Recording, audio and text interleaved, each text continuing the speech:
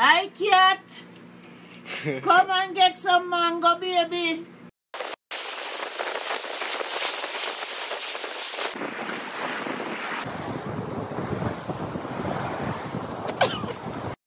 One, two, one, two, three.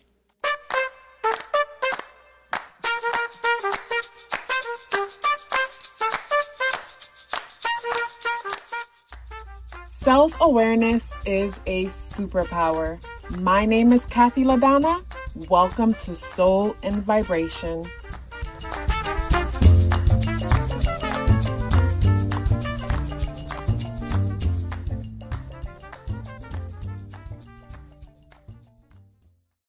I hope the free thinkers are doing well. And if you're not doing well, I'm happy to remind you that you are the most powerful person that you know. You are the most powerful person that you know because only you can create your reality. I wanted to talk about 2023 and the planet associated with 2023. So 2023 is associated with the moon. Now, I remember in the 2023 video that I recently did, I spoke about how, say, the two aspect within the year will bring our attention or our focus to say women nurturing. When I think about the moon placements, I think about say the things that we we hide, hide away from the rest of the world because we don't feel safe to make that thing public or known. I also think about how we hide ourselves because maybe there's this thing about us that we didn't see growing up. We didn't see other people celebrate this thing. It could be something as simple as wanting to be a wanting to be on YouTube reading tarot or doing whatever it is that you might want to do. And because you didn't see it growing up or it wasn't celebrated, you were in the closet about it. So when I think about the moon aspects to this year, I think about reflecting on some things that were in the closet about and we could be in the closet about different things and something that i may be in the closet about to you might be nothing. Like for me for the longest i was in the closet about my love for this my love for the occult divination spirituality because i didn't want to be misunderstood. And fear of misunderstood is a big reason why we are in the closet about things because I think of the fourth house in astrology and how the fourth house is the lowest part of the astrological wheel. And it's at the lowest part because that space is sacred. We hide things there that mean something to us. The fourth house talks about the home, the family, the mother. It talks about a part of our personality that's hidden away from the rest of the world and only people who have the privilege and the honor to come all the way down to that hidden space gets to see all of that. So when I think of the year 2023, I think about how we're diving deep into what's in that hidden sacred space and how the things that are deep into that hidden sacred sacred space and hidden from the rest of the world and reflections on why we hide ourselves away and is it beneficial for us to hide ourselves away. Because people could be outcasted and rejected by their families and the moon energy deals with the family. People, could be outcasted and rejected by communities and of course back in the day it could mean death to say that you're into certain things like this. So when i think of that aspect of our lives i think about say the attention and the focus on that. When it comes to say similarities between the moon and 2023, I think of how the moon energy and 2023 are both spiritual energy. So this is a year of a lot of psychic experiences that we can all experience. Everybody having their own dark night of the soul moments. To me, a dark night of the soul moment is when the heart and the mind is out of balance the heart wanting to have a certain experience because the heart is ancient. The, art, the, the heart knows all. Where the mind to me is like gravity, it's the matrix, it's on a system, it's on a cycle, and it'll keep us It'll keep us in line with what's familiar, with what's safe. And stepping out of what's familiar or what's safe is terrifying. So the heart might want a new experience, like a new job or move to a new place. And the mind is like, no, we don't know the people there. We don't know what will happen when we go there. We have no data. We have no, we have no experience of that. And more than anything, no one speaks highly of that. No one celebrates that. So there's this back and forth because the heart wants to go so badly and the mind is terrified of what happens. So turbulence happens within. So when I think of, say, the similarities, I think of the spiritual aspect between the moon and the moon and the number seven, but then the challenges that comes from, say, the, the, the dark night of the soul moments that we'll experience. So throughout this year, you can ha- experience few dark nights of the soul moments. And I feel like the dark night of the soul moments will continue or last longer for the people who refuse to let go, for the people who refuse to allow things to just flow. Because we have to force ourselves to police ourselves. This is where the mind constantly steps in and say, no, look around what's everybody else is what's everybody else doing.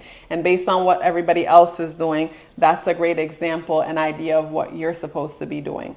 But just like how we were taught to do that we can also learn to allow ourselves to be. So for me i'll observe myself wanting to police myself and instead of policing myself, I'll just allow myself to be. But it took time for me to get there, where it took time where I would keep policing myself until I would catch myself about to police myself and no longer police myself. So when it comes to say the blessings of this year, it can help us to allow ourselves to be because a lot of emotions is a lot of emotions will be like emotion will be a big thing this year because the moon is emotional.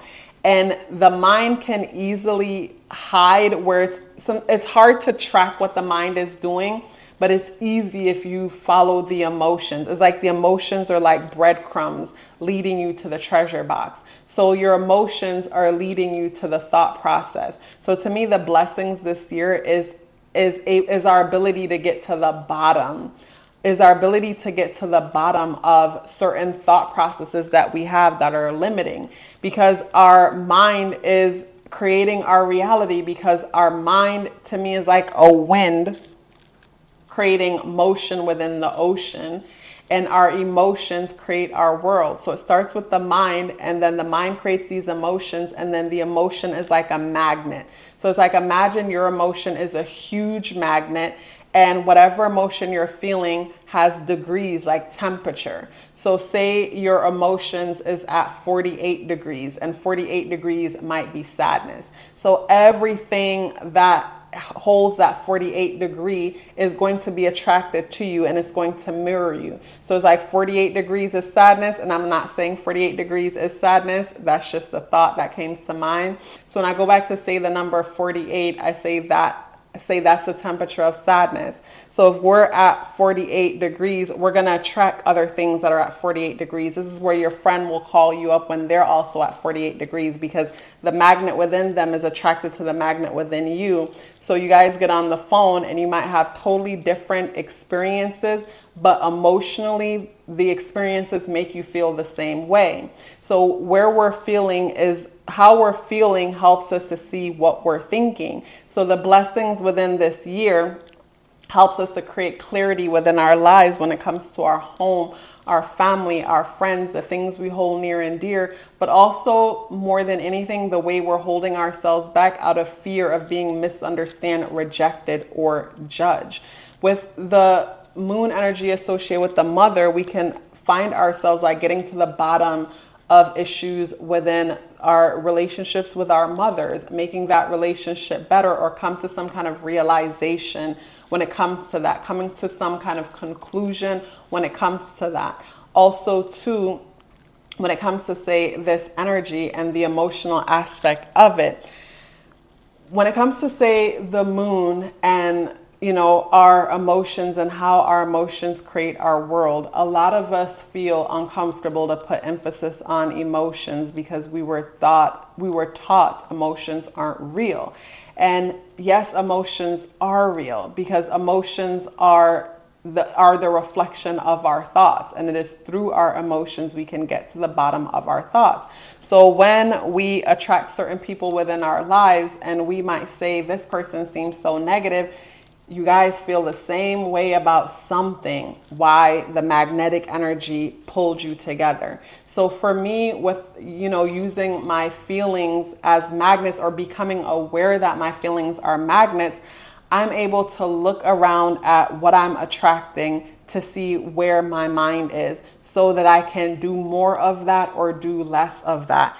And when it comes to say shaking up vibrations, music and laughter is really good when it comes to say shifting energy shifting energy and creating a neutral space so when it comes to say the energies within 2023 you definitely want to make the most of this by doing shadow work around the mother the family and the mind but more than anything, the things that you fear and how they're restricting your reality. And you can tell how what your thought process your thought processes are around all of these things based on how you're feeling. When I woke up today, I wasn't feeling my best. Today is Thursday, and Jupiterian energy is amplifying the day.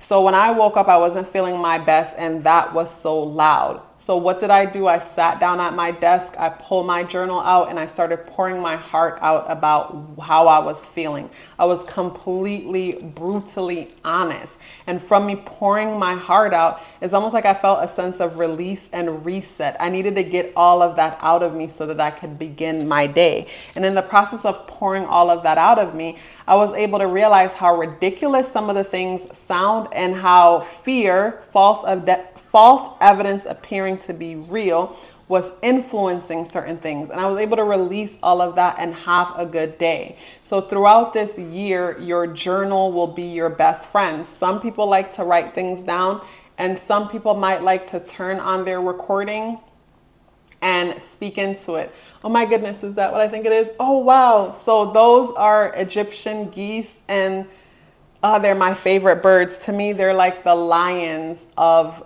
the birds. Like, I like the way how they conduct themselves.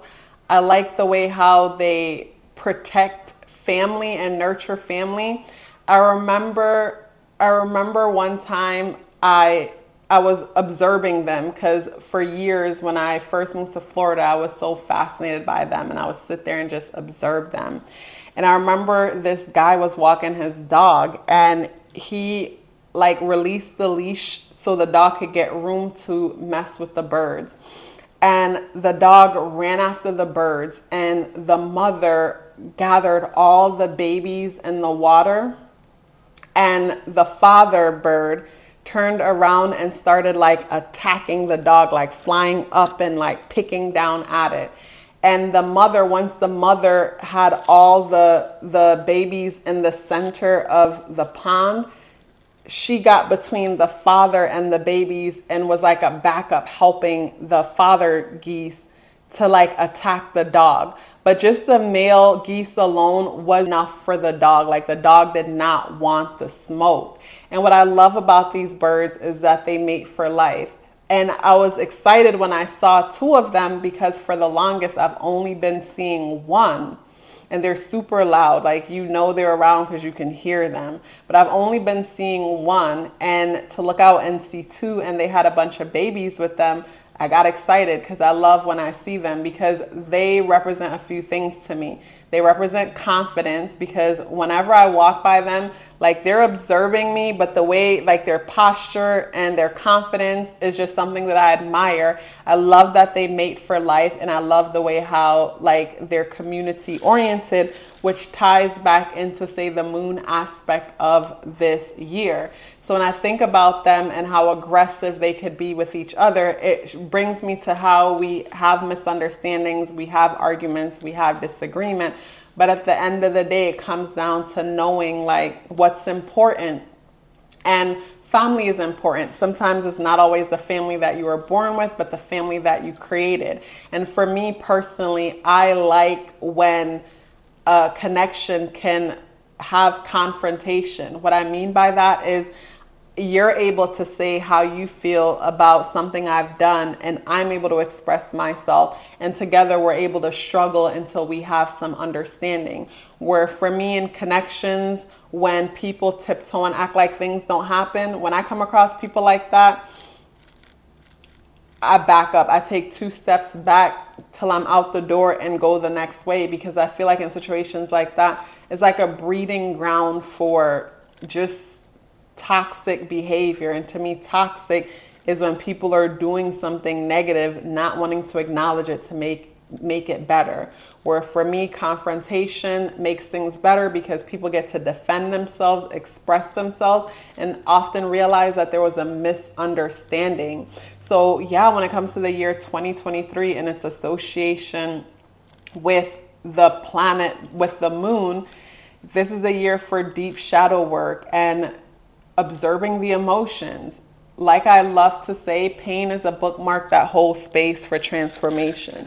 So, this is a great year to pay attention to how you feel about certain things and question those feelings to get to the thought process that created those feelings. And either you, for me, I like to debunk my thought processes by questioning it and, you know, question it enough to realize, okay, this makes absolutely no sense and then redirect that way of thinking so it no longer controls my world. Like, I remember when I came to the realization that no one has life figured out in the sense that when it comes to, say, religion, for example, or even where we came from as beings, collectively we cannot come together and agree upon where we came from and where we're going next. So, for me, that shows that no one knows. Like, no one knows something like that that we should know. So, no one knows. So, because no one knows, I'm open I'm open to other, I'm open to everything, but I'll follow nothing blindly. So it's okay for me to believe what it is that I want to believe and live my life in a way that makes me happy and brings peace to me. So from me asking those questions and questioning certain thoughts, I was able to free myself by just looking around and realizing no one has anything figured out. So me living my life the way how I want to, you know, that's the best thing I can do. Life is all about experiences. And as long as I am having new experiences and allowing myself to be, I am living my best life. On Patreon, I put up a video about 2023 and how it affects your moon placements. You want to look to see what house your moon is in to see the area of your life that is highlighted in the year of 2023. So pay attention to the area of your life that the moon is in and the sign that the moon is in.